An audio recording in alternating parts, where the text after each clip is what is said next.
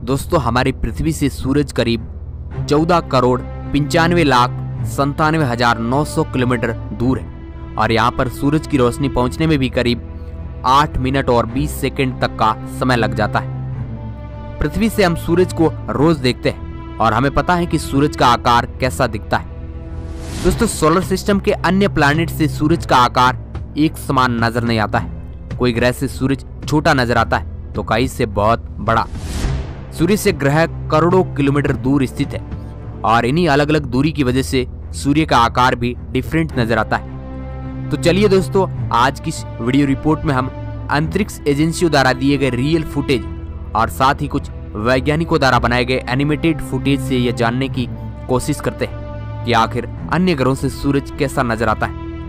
Hello दोस्तों, मैं हूँ आपका दोस्त सुरेश सांचोरी।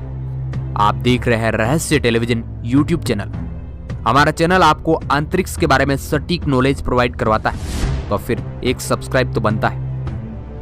दोस्तों, सबसे पहले अपन शुरुआत करते हैं सूर्य का सबसे नजदीकी ग्रह बुध से। बात करें सूर्य और बुध ग्रह की दूरी की तो बुध सूर्य से करीब पाँच करोड़ उनासी लाख किलोमीटर दूर है। बुध की ज़मीन से सूरज को देखने पर, सूरज पृथ्वी पर सूर्य की तुलना में तीन गुना आकार में बड़ा नज़र आएगा। और साथ ही पृथ्वी से दिखने वाले सूरज की तुलना में काफ़ी ज़्यादा चमकीला दिखेगा। बुध को सूरज का एक राउंड काटने में लगभग 88 दिन लेता है। अभी जो आपको मोबाइल स्क्रीन पर जो एनिमेटेड तस्वीर दिख रही है, कुछ इस तरह बुध ग्रह की ज़मीन से सूरज नज़र आएगा। वीनस यानी शुक्र ग्रह।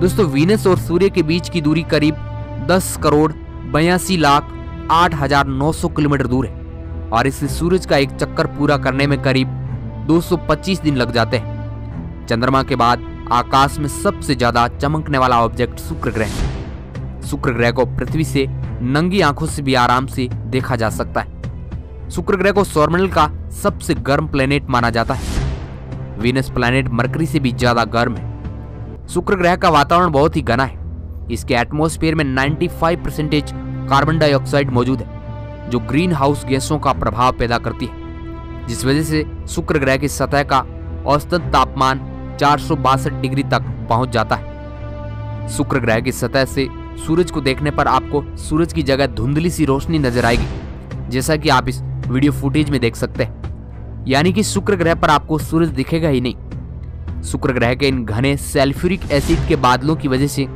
सूरज को देख पाना मुश्किल है। शुक्र की सतह से देखने पर आपको केवल धुंधली सी रोशनी ही नज़र आएगी, और सूरज आपको कभी नज़र नहीं आएगा।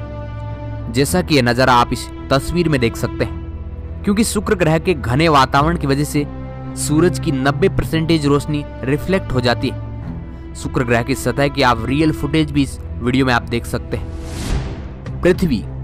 दोस्तों, पृथ्वी से सूरज 14 करोड़ पंचानवे लाख संतानवे हज़ार नौ सौ किलोमीटर दूर है। पृथ्वी से सूरज को देखने पर कुछ इस तरह का नज़र आता है। वैसे आपको बताने की कोई ज़रूरत नहीं है, क्योंकि पृथ्वी से सूरज तो आप रोज देखते हैं। सौरमंडल में पृथ्वी ही एकमात्र ऐसा ग्रह जिस पर रहने लायक वातावरण है। अब बात करते हैं सूर्य से चौथा ग्रह मंगल की।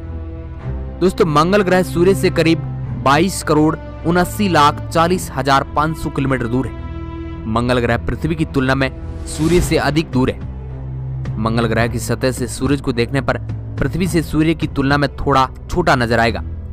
मंगल ग्रह पर काफ़ी आंधियाँ जलती है, जिस कारण मंगल ग्रह का वातावरण धुंधला है।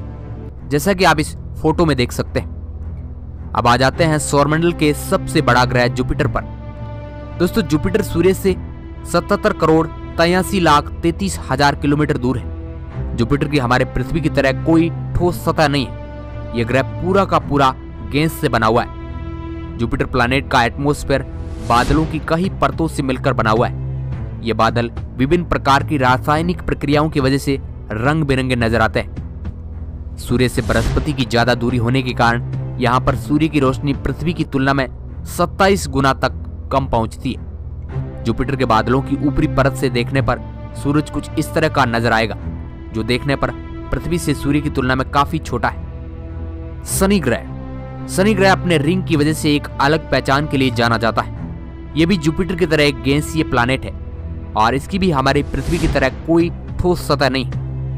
शनि ग्रह सूर्य से करीब एक अरब बयालीस करोड़ उनसाठ लाख अठहत्तर हज़ार किलोमीटर दूर है, जो कि बहुत ही ज़्यादा दूरी है। शनि ग्रह पर पृथ्वी की तुलना में सूर्य की रोशनी 100 गुना कम पहुँचती है। शनि ग्रह के एटमोस्फेयर से सूरज काफ़ी सुंदर दिखता है, मगर पृथ्वी जितना चमकीला यहाँ नहीं दिखता है। जैसे कि आप वैज्ञानिकों द्वारा बनाई गई इस एनिमेटेड फ़ोटो में देख सकते हैं। यूरेनस यानी कि हिंदी में कहे तो अरुण ग्रह। यूरेनस ग्रह सूर्य से दो अरब सत्यासी करोड़ नौ लाख इक्यानवे हज़ार किलोमीटर दूर है। यह ग्रह भी एक गैसीय प्लानेट है। यहाँ पर सूरज की रोशनी बहुत ही कम पहुँचती है और इसके एटमॉस्फेयर से सूरज को देखने पर काफ़ी दूर स्थित दिखाई देता है। यूरेनस के उपग्रह एरियल से सूरज की एक एनिमेटेड तस्वीर देख सकते हैं, जिसमें आप सूरज का नज़ारा देख सकते हैं। नेपच्यून यानी कि वरुण ग्रह। यह सूर्य से करीब चार दशमलव पाँच अरब किलोमीटर दूर है। इस ग्रह को सूरज का एक चक्कर पूरा करने में एक पृथ्वी साल लग जाते हैं। नेपच्यून भी एक गैसीय ग्रह यहाँ से सूरज को देखने पर यूरेनस की तुलना में थोड़ा छोटा दिखाई देता है। नेपच्यून प्लेनेट पर सूरज की रोशनी बहुत ही कम पहुँचती है। एक एनिमेटेड चित्र के ज़रिए नेपच्यून के मून ट्राइटन से सूरज का नज़ारा देख सकते हैं। अब बात करते हैं प्लूटो।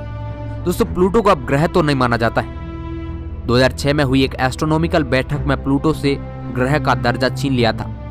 प्लूटो सूरज से करीब पाँच अरब इक्यानवे करोड़ किलोमीटर दूर है।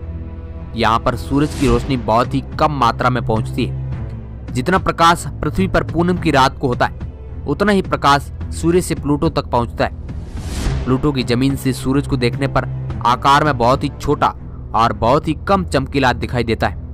और यहाँ पर सूरज का प्रकाश पृथ्वी की तुलना में 1600 गुना कम पहुँचता है। तो दोस्तों, ये था वो सफ़र जिसमें हमने जाना। अन्य ग्रहों से हमारा सूरज कैसा दिखता है? उम्मीद करते हैं आपको आप बहुत कुछ सीखने को मिला होगा। अगर वीडियो आपको अच्छा लगा है तो इसको लाइक ज़रूर करना। काफ़ी मेहनत करके वीडियो बनाया है। वीडियो को पूरा देखने के लिए आपका बहुत बहुत धन्यवाद। अगर आप लिखित में जानकारी पढ़ना चाहते हैं तो आप हमारी website Rahasya television dot com पर विज़िट कर सकते हैं। नीचे डिस्क्रिप्शन हमने लिंक दिए